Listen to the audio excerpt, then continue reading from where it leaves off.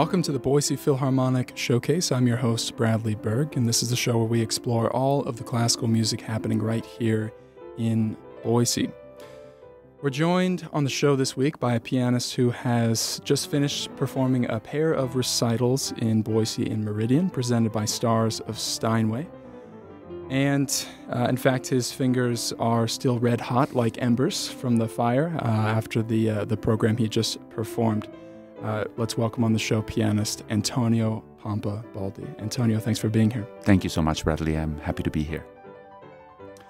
Antonio, when I first heard you were coming to Boise, I was so excited because I knew that you've recorded uh, the works of a pianist and composer who I'd be willing to bet that most of our listeners uh, do not recognize his name, uh, Johann Nepomuk Hummel. You've recorded the complete sonatas of Hummel, and he was actually a very important figure in his time. He studied with Mozart. Um, uh, some have said he influenced Schubert in some ways. Uh, and of course, the later generation of pianist composers, including Chopin, Schumann, uh, Liszt, and many more. What was it that drew you to this recording project, and uh, how do you see the value of Hummel's compositions in today's musical landscape? Well, this is a very interesting question. Of course, I've always been interested in uh, delving into the obscure corners of the piano repertoire because we have so much repertoire. And uh, of course, alongside what we call standard repertoire, which by no means is it standard, it's just quite extraordinary. But just to be clear, uh, the definition of standard repertoire is the repertoire we are used to listening to uh, most frequently. Uh, but there is so much more out there. And for example, one of the first uh, recording projects immediately after, actually, my first recording project that didn't have any ties with winning a competition, that wasn't part of a prize. I was approached by Centaur Records, and um, the first thing I, I surprised them perhaps, but they were happy um, that I recorded were the sonatas of Joseph Gabriel Rheinberger. And um, so Hummel, um, Hummel um, is a figure that um, lived and operated at a time in history that to me is the most fascinating um, because it's really a crossroads. Um, it is that time when things are changing, where you can see uh, that uh, composers who were born in the classical era are developing. first of all, they are pushing the envelope when it comes to the possibilities of the instrument, of the piano, but also they're developing music in a way that foreshadows uh, the Romantic era. And you mentioned the influence on Schubert, but it, to me it's even more clear that uh, Hummel had a strong influence on, on the young Chopin. Um, and in fact, some of the slow movements of Hummel, uh, both in the sonatas and in the piano concerti as well, um, are incredibly uh, reminiscing uh, reminiscent of of um, the early Chopin works, um, and uh, I think um, the quality of the music was the first thing that I noticed, and then the um, sort of the way that the technical aspect of piano playing was exasperated uh, in that time. There were almost um, duels uh, among composers trying to outdo each other um, to to see who could get as far as possible with uh, innovating and creating um, some sort of acrobatic uh, playing. Um, and Hummel um, started out as a Mozartian composer and then evolved into a Haydn like uh, composer. And you could also hear the influence of Clementi and Dussek in there. And then suddenly he branches out and, and he becomes um, his own virtuoso composer with uh, um, basically no ties to the composers that I mentioned before, but uh, becoming he himself the influencer of the great composers that were to follow. You know, you mentioned uh, Dussek, and he's another one of those piano virtuosos that sort of blossomed in this um, stage when pianos were expanding and um, recitals were becoming uh, a thing and uh, touring virtuosos were becoming more common. And you know, I had a term for when I played a, a Dussek sonata a few years ago, the Return to Paris sonata. I thought it sounded to me like Haydn on steroids. Yeah. You know, it, it's reinforced. It's still very much in the classical era, but there are many more notes. Of yes. course. Yes. Um, it's uh, incredibly virtuosic, and you start to hear glimmers of perhaps foreshadowing Chopin. Mm-hmm. And he was going to take these uh, things much further, of course. Uh, so, uh, yes, a fascinating period of time. And Hummel, there's another great moment in this um, biography uh, by Mark Kroll, who, who's uh, done an entire study of Hummel's life. And you, you see many comparisons between, for instance, Hummel and Beethoven as pianists. And while Hummel's compositions have not had the legacy that Beethoven's have, of course, uh, there seems to be evidence that he was uh, just as good of a pianist in technical terms.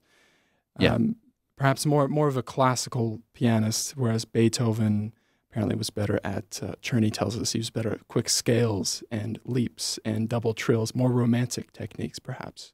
Absolutely. Beethoven was uh, astounding as an improviser when he performed in public and when he improvised. Uh, people were shocked because they'd never heard anything like that before. Uh, but when it came to um, quality of sound and phrasing and uh, the um, delicate um, touch and dynamics, etc., Hummel was actually considered the better pianist uh, when they were both alive. Um, now, these comparisons are not, you know, the, deciding who was the better pianist is not the important thing. The important thing is that they were both remarkable and that Hummel held his own when compared to Beethoven. That is, in and of itself, quite something. So, after having studied all of Hummel's piano sonatas, of course, he wrote much, uh, many more piano works and chamber works. Um, which of them sticks out to you the most? Of course, the number five in F sharp minor is um, typically the one that's singled out as his greatest achievement. Uh, which which one sticks out to you the most?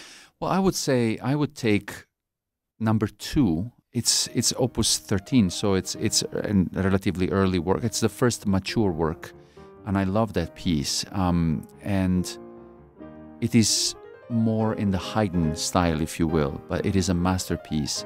And then number five, as you mentioned, the F sharp minor, Opus 81, a much later work, a much different work, more romantic, more uh, hyper virtuosic, uh, with double notes, leaps, crossing hands, you name it, all the acrobatics.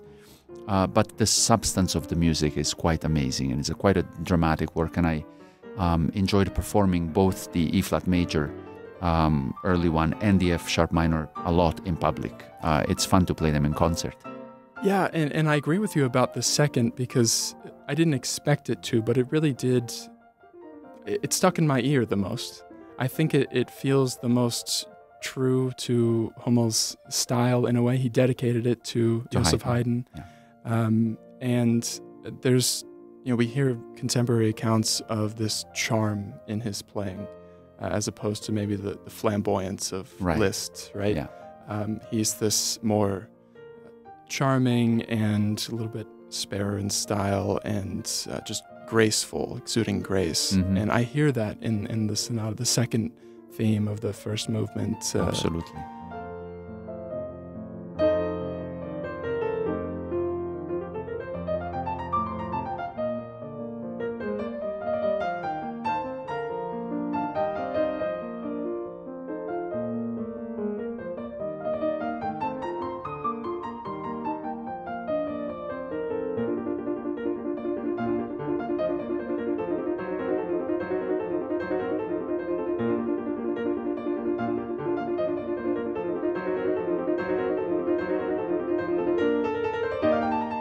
I always get a little nervous, though, when I see all these double trills to be played on a modern piano. Do you think Mm. it translates? Um, I think it can. I mean, yes, it's interesting to try and play on a period instrument, but this is true also for Chopin or Mendelssohn. Or um, you learn a lot um, relative to what they heard and how they thought. But we should also not forget that they were trying to push things to change and to grow and to improve. So I always think that all of these composers would be rather happy to have our modern instrument if they could have. Maybe they would have adjusted the writing and uh, and pushed the envelope even with it.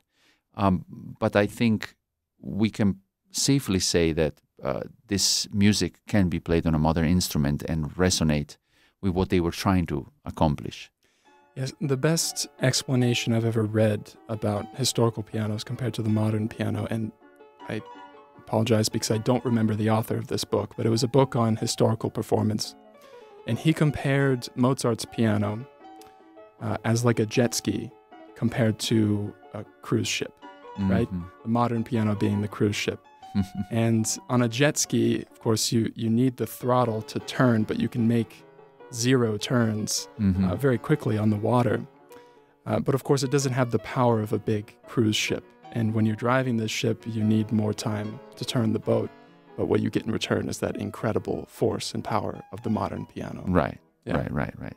Yeah. No. I mean that that's that's true. And uh, aside from power, I think that what you have is um, also the ability to broaden the dynamics and the layering a little bit more. And I believe it dep- much of it depends on the interpreter. If you play um, in a certain way, exploiting all of these qualities of the modern piano, not just its power, then you have an enormous palette, uh, timbric uh, palette and dynamic, and and you can really create a lot uh, more vivid um, and kaleidoscopic um, renditions of this music, which I think the composers would have been happy with.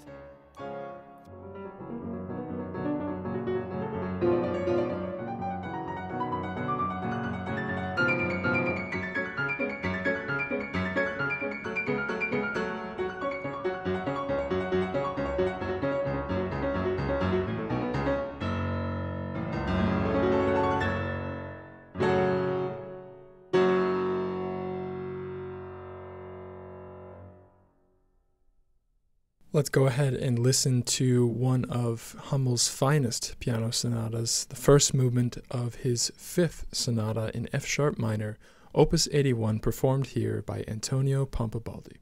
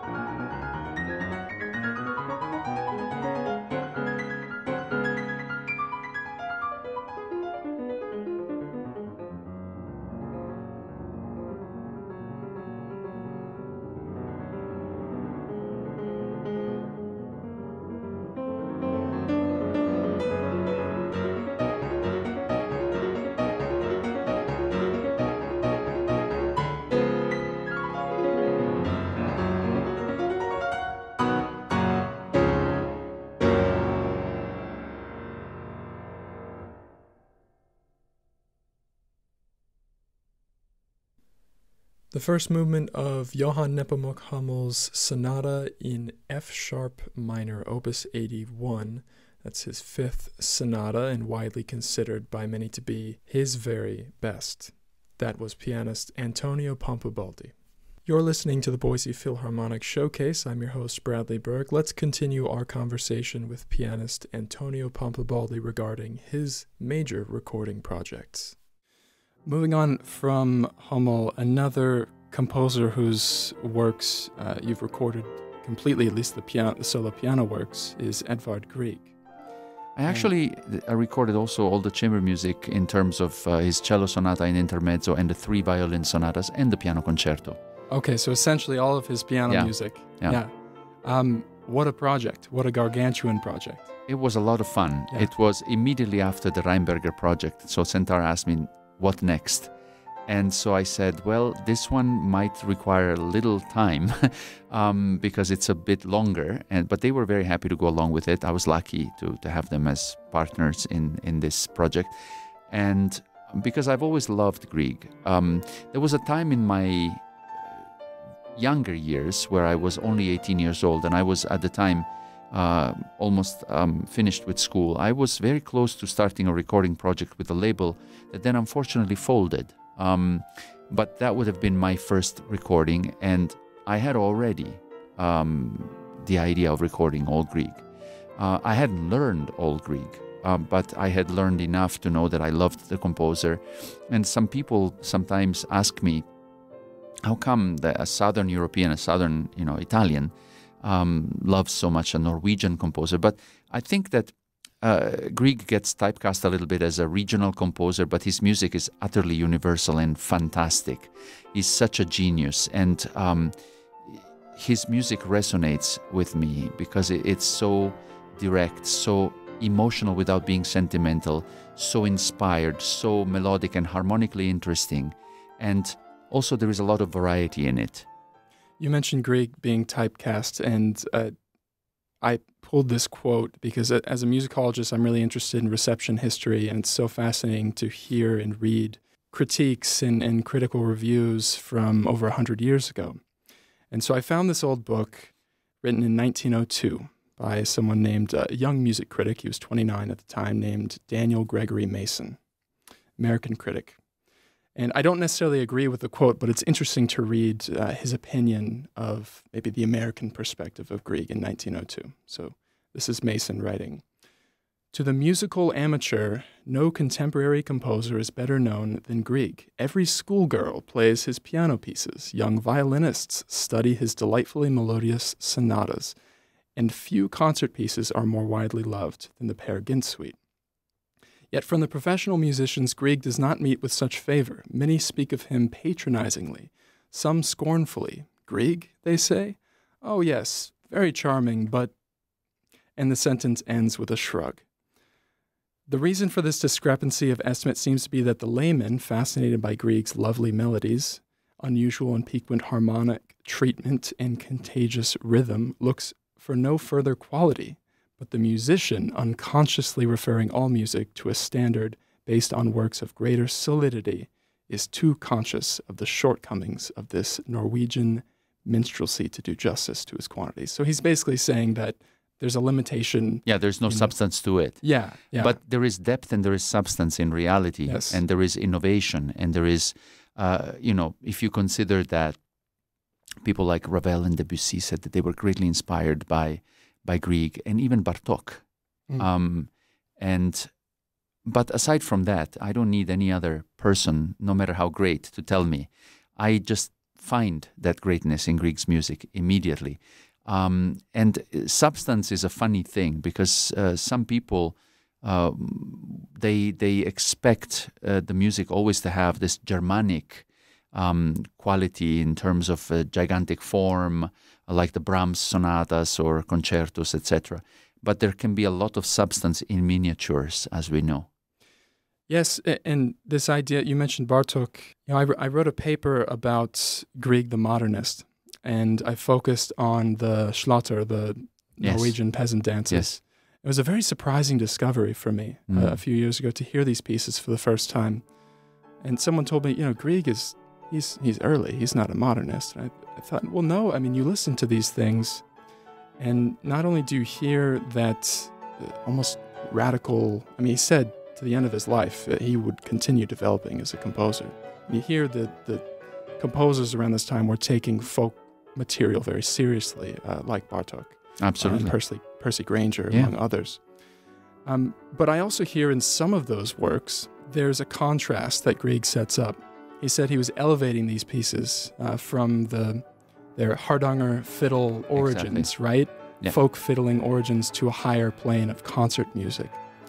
And in some of them, you hear Grieg, of course, he studied at the Leipzig Conservatory, very traditional Germanic. and hated it. yeah, yes. hated he his time of- there. He But he- flexes his muscles a Yeah. little bit, and you hear the Yeah. counterpoint in the stretto voices, but then he goes back to the, you know, fairy world or of mythology of Absolutely. Norwegian folklore. when you think about it, this is similar to what Chopin did with the mazurkas. Mm. you know, where which to me, f- how great the music of Chopin is, but the mazurkas are his best uh, as a opus, if you consider all of them, and that's exactly what he was doing. He was elevating it to an art form, um, this popular music.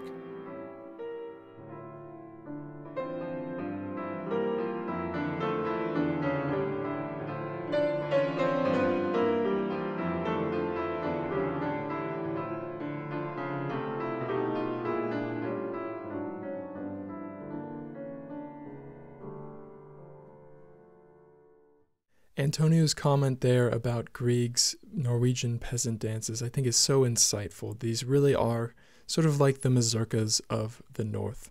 In these dances, Grieg took some folk tunes from a peculiar type of Norwegian fiddle called the Hardanger fiddle. You'll hear a lot of really lively dance like figurations and some nuanced ornamentation. Here are a few of my favorites from that set.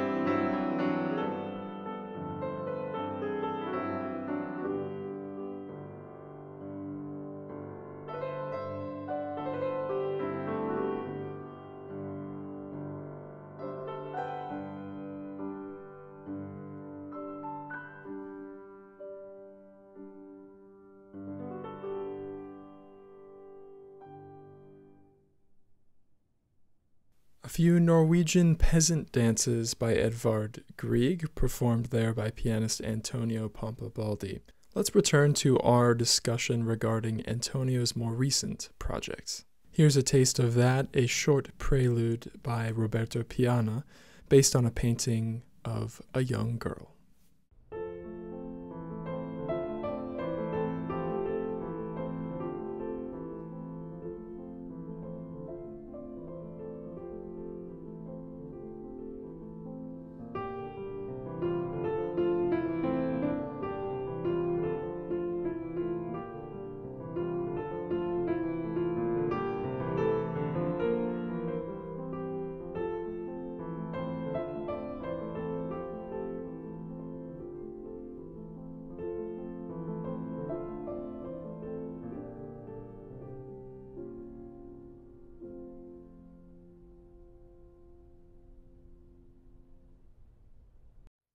Last composer I want to ask you about.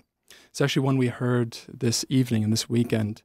Uh, Roberto Piana. You have a very special collaborative working relationship with this composer. Tell us about about that. Yeah, I mean, he's Italian. He's from the island of Sardinia. He's an excellent pianist and great composer. He teaches piano at the conservatory in Sassari, that's his city, uh, in, on the island of Sardinia. And um, we met by chance. Uh, I just stumbled upon uh, a video on YouTube where he himself played one of his own compositions.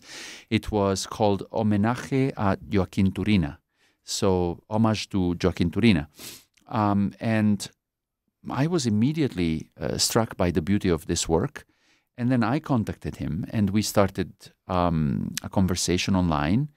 Um, and um, I was going to play a recital in San Francisco for the Liszt Society, for the American Liszt Society. And I had a program in mind, which, if I'm not mistaken, started with it was all uh, mostly uh, works inspired or dedicated to Liszt. So I was going to start with the Lyapunov Transcendental Etude number 12, Elegy in Memory of Franz Liszt. And then the first half continued with the 12 Etudes Opus 10 of Chopin, dedicated to Franz Liszt. And then the second half had uh, some works original by Liszt. I remember Sposalizio, and then the Ernani paraphrase from Verdi. And I don't remember what else was there. Something else was there. And then I wanted to close the concert with something new, something newly composed. So I asked Roberto if he was willing to write something inspired by Liszt. And he wrote a beautifully humorous uh, pastiche um, in which there is a leitmotif which is his own, um, sort of a promenade in the style of Mussorgsky, taking us to admire, but without stopping between movements. It's in one movement, and um, and then there is plenty of quotes from Liszt himself, uh, and the title itself is a quote um, because the piece he called "After a Reading of Liszt." So obviously Liszt wrote after a reading of Dante. Mm-hmm. Uh, and Roberto titled this piece um, after a reading of Liszt. And I performed it, I loved it, um, and performed it and even recorded it. Um, and then we continued collaborating. This was over 10 years ago. Then he wrote for me elaborations, concert elaborations of the Edith Piaf songs, which I paired with my own transcriptions of the uh, Poulenc uh, pieces for voice and piano. Um, and then he wrote uh, opera paraphrases on La Boheme and uh, Carmen for me. And he wrote concert versions of Neapolitan songs, classical Neapolitan songs, which I all recorded. He wrote a piano sonata for me. And uh, I also recorded his beautiful 25 pictorial preludes, which are an amazing work. He didn't write those for me. He uh, had already composed them when I met him, but I paired them with the sonata uh, on a Centaur Records album um, and many other things, a piano concerto and uh, a two piano sonata, which I played with my wife, and you know, a lot of other things, uh, pieces for flute and piano. I love his music. I love him as a composer, so I always nudge him to write more. And uh, he, I also love the fact that he's very uh, versatile and eclectic. And um, uh, obviously, the latest piece that he wrote for me is this uh, almost one hour long um, composition called glances on the Divine Comedy, um, which he wrote for the 700 year of the passing of Dante Alighieri. And um, I've been performing the first book of it, um, Inferno, in concert for the past two years in five continents, and you know many many times. And um, I've recorded already the whole thing, and it will um, come out um, on the Steinway and Sons label. Um, the whole um, glances on the Divine Comedy by Roberto Piana, plus the Liszt Dante Sonata. So that will be the the CD. We look forward to that release. I was reading a uh, blog post on your website from 2020, which, to, to paraphrase a little bit, you were talking about writing about how the contemporary public uh, oftentimes has sort of a negative uh, view, or at best, apprehensive view of uh, a lot That's of modern word, yeah. music. And uh, you make the case, I think convincingly, that Piana's style could perhaps um, maybe help today's audience overcome that view a little bit, that, it, that it's nicely balanced in that way. Could you describe that style a little bit? Well, I think that uh, Roberto is fundamentally an Italian composer, and I say that knowing that it may not mean much unless I qualify. Um, I mean, there is a lyrical quality to what he writes. There is always a, a melodic strain, um, but there is influences from the French impressionistic world, world and also from jazz and uh, from all sorts of other places. Um, it may not be so evident, uh, the, the impressionist, well, some of it in the glances as well. Um, but the jazz style, although there is some bluesy chords in Inferno. um, but um, in other pieces like the pictorial preludes, um, there is a, a, profound spirituality to his music, which I love as well. Um, and of course, he mastered all of the compositional techniques. Um, ultimately, I think he tries to express images through his music uh, and to communicate emotions. And what I was trying to say in that uh, essay was that um, we had come to a point where um, a lot of co- uh, contemporary composers, um, in general, uh, they almost made it a point to become so complex and complicated and move away from the audience and also almost making it like a, a badge of honor to be worn with pride uh, if audiences didn't like their compositions. And fortunately, the trend has changed, and we have plenty of composers who didn't do that.